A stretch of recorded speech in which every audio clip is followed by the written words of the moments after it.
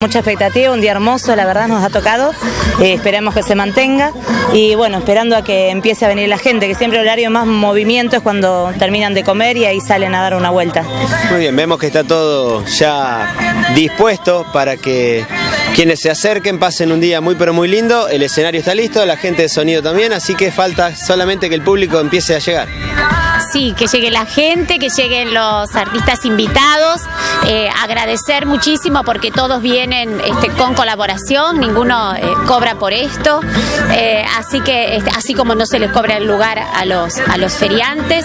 Y bueno, esto que decías, no es solo la gente de red comunitaria, es el PEC, Cedronar que organiza, que es Organización Fusión, más red comunitaria, más Capilla Nuestra Señora de los Ángeles. Así que bueno, con todas las pilas para pasarla bien. Seguramente que así será y vemos que de a poco el marco se va tornando de acuerdo a las expectativas, así que...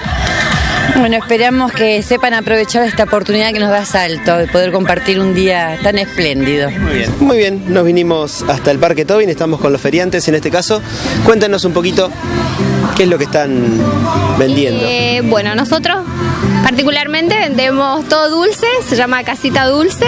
Yo sería una sucursal de la Casita Dulce porque mi papá está allá en la parte de adelante. Y bueno, es un reencuentro de todos los este, microemprendimientos.